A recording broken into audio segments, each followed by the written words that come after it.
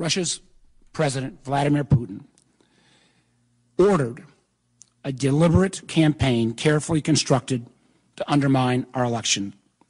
First, Russia struck at our political institutions by electronically breaking into the headquarters of one of our political parties and stealing vast amounts of information.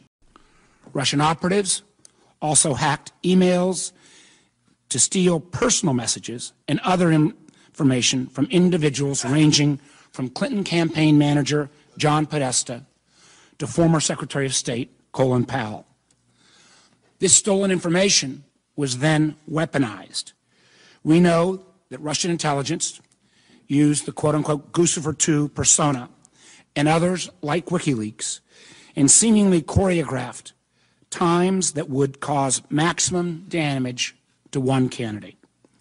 They did this with an unprecedented level of sophistication about American presidential politics that should be a line of inquiry for us on this committee.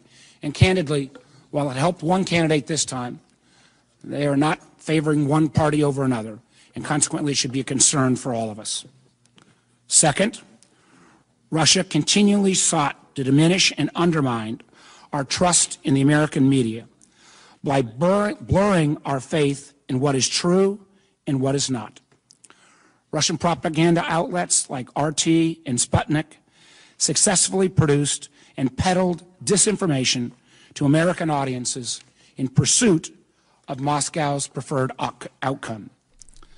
This Russian propaganda on steroids was designed to poison the national conversation in America. The Russians employed thousands of paid internet trolls and botnets to push out disinformation and fake news at a high volume, false, face, uh, focusing this material onto your Twitter and Facebook feeds and flooding our social media with misinformation. Pure fucking nonsense.